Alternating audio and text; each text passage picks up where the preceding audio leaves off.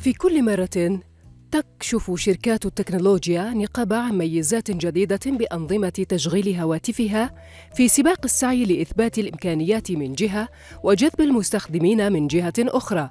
إلا أن تلك المميزات بدت تثير جدل ومخاوف الإنسان من قدرة التكنولوجيا على اختراق أدق تفاصيل حياة البشر. وربما تدميرها وبطبيعة الحال فإن ذلك لا يرتبط بسوء التكنولوجيا بحد ذاتها وإنما بطريقة وطبيعة الأشخاص المستخدمين.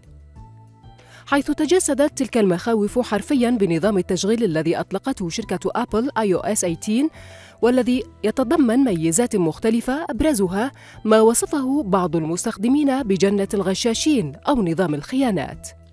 فما هي الميزة الجديدة التي أرعبت مستخدمي هواتف آيفون؟ ولماذا وصفت بأداة الغش والخيانة؟ الميزة التي روجت لها شركة أبل على أن هدفها الأساس المحافظة على خصوصية المستخدم تتمثل بإمكانية إخفاء أو قفل التطبيقات على شاشة آيفون الرئيسة والحفاظ على المعلومات الشخصية بعيدا عن أعين المتطفلين والمستخدمين الآخرين. إلا أن هذه الميزة واجهت جدلا واسعا بين مؤيد ورافض لها كونها ستعطي مساحة واسعة للخيانة والغش. فالميزة لاقت ترحيبا من الرجال على مواقع التواصل الاجتماعي بأنها فكرة جيدة لإخفاء بعض التطبيقات والمحادثات عن الزوجات وهو ما قابله آخرون بالرفض كونه سيسمح بتفكيك العلاقات الأسرية والاجتماعية. شركة أبل ذكرت أن فكرة هذه الميزة وهدفها المحافظة على خصوصية التطبيقات المصرفية من جهة ومنع الأطفال من القيام بعمليات التسوق الإلكتروني عبر أمازون حيث يمكن للمستخدمين قفل التطبيق بل وإخفاءه كاملاً ونقله إلى مجلد تطبيقات مقفل ومخفي لا يمكن لأي مستخدم ثان للهاتف الوصول إليه وبالتالي إخفاء المحتوى مثل الرسائل رسائل البريد الإلكتروني الموجودة أيضاً داخل التطبيق. كما تسمح الميزة للمستخدمين بإخفاء رمز التطبيق واسمه عن الشاشة الرئيسة ما سيؤدي إلى إيقاف الإشعارات مؤقتاً.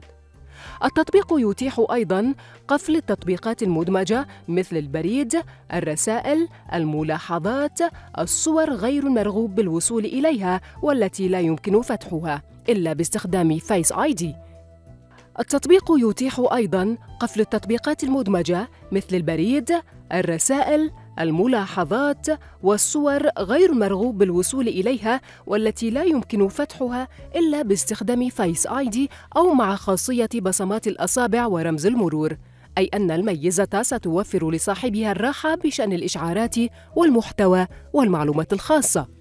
وفي حال قفل المستخدم لأحد التطبيقات ومحاولة مستخدم آخر الدخول إلى الملف سيتم طلب التحقق من الهوية. مستخدمو آيفون يعتمدون على طرق مختلفة لقفل التطبيقات باستخدام خواص مدة استخدام الجهاز أو الاختصارات.